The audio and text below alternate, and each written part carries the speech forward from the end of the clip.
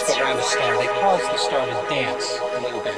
You just stare at them for years at a time and see if any of them for a few hours get slightly dimmer because some planet has moved across it, making a little eclipse.